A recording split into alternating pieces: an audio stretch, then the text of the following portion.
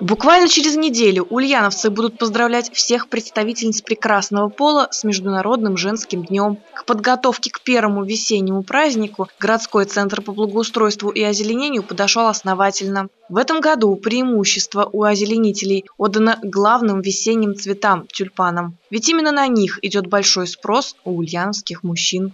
Если в прошлом году как бы мы больше там выращивали желтый стронголд, красный парад – Барселона сиреневая. В этом году очень большое разнообразие. То есть мы уже и светло-розовые начали выращивать, First Glass, Чирс а, кремовые.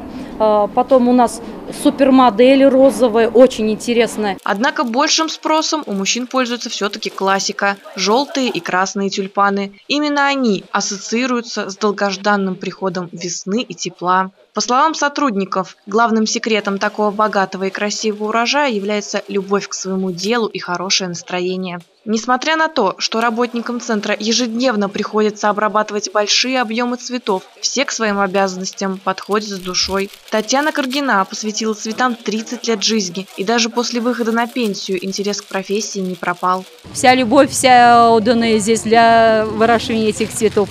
Это столько здесь тепла и столько вот этого всего как говорится, и любви. Вот, чтобы действительно был настоящий праздник 8 марта для всех, да, для всех.